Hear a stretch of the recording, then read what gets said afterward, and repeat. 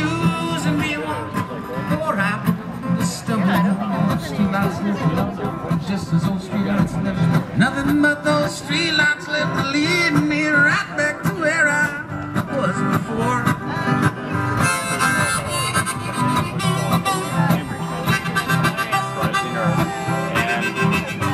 I didn't know anything about herbs, and they had lots of herbs. They were all in bulk. Said, well, I'm going to try one of these. I'm going to go make some tea. So, so I got myself some some herb, and I went home and I made tea with it, and I drank this tea